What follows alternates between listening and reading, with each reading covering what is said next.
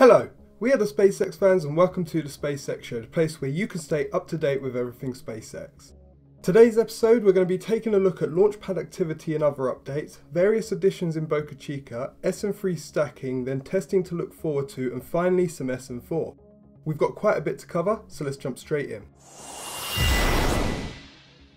We're going to begin with some new arrivals in Boca Chica.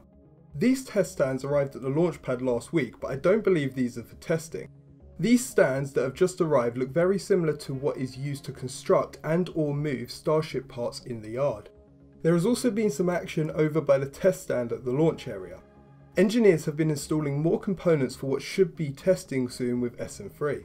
There has also been an interesting addition to the test stand with this metal contraption being lowered into the middle recently.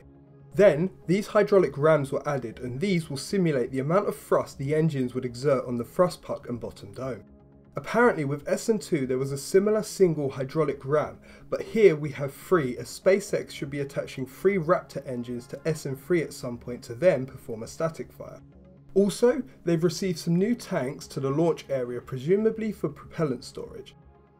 Not quite sure what is going on here yet, but some work is being done below Starhopper. There have been some interesting speaker looking objects attached to the bottom of Starhopper, then underneath, workers have poured some concrete. They've also been digging trenches and pits around the vehicle, so not sure what's going on here, but it's definitely interesting. Now, let's head over to the construction area where quite a bit has been happening. Here, we have further construction work going on with that new high bay or windbreaker looking building. I for one thought this building was going to be huge, but turns out it's actually quite small as you can see in this video.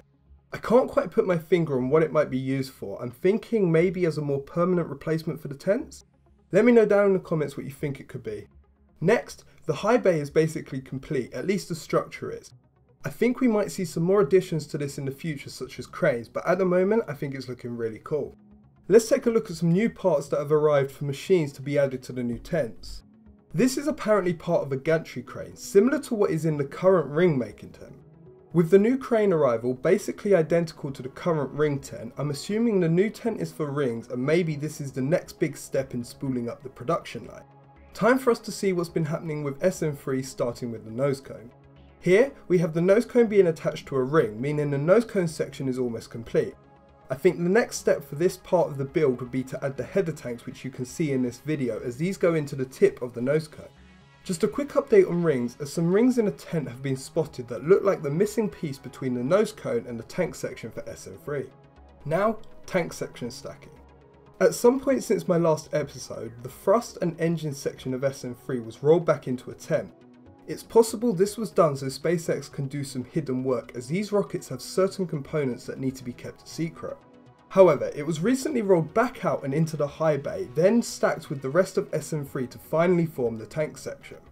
Unfortunately, there is no footage of the actual stacking process, so here is a before and after from Elon Musk. Here is the latest SN3 build diagram from Rafael Adamy. As you can see, SpaceX have constructed all of the sections for this vehicle.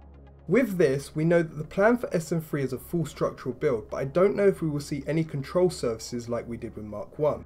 Given that Musk previously stated only a static fire and short flights are planned with SN3, that might mean that RCS thrusters will be all that's needed for SN3 to lift off, but let's wait and see.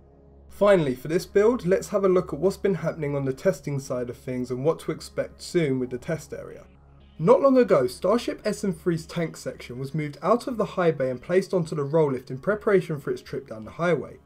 The road was then closed on March 29th so that the tank section could be rolled out to the test area.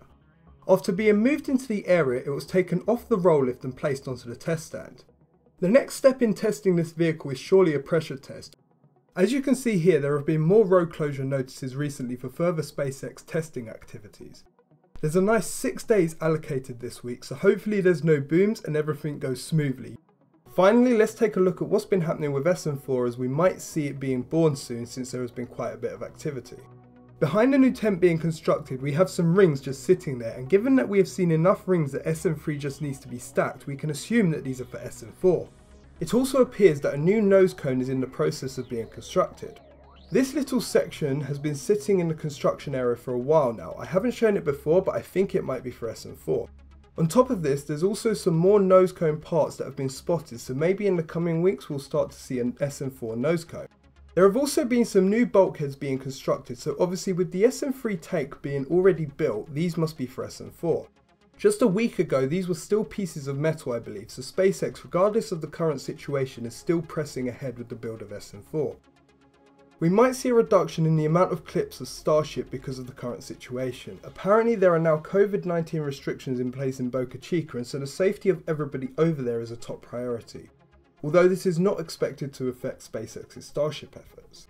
Again, I want to say a huge thanks to Mary Boca Chica girl who provides great Starship footage for the NASA Spaceflight team.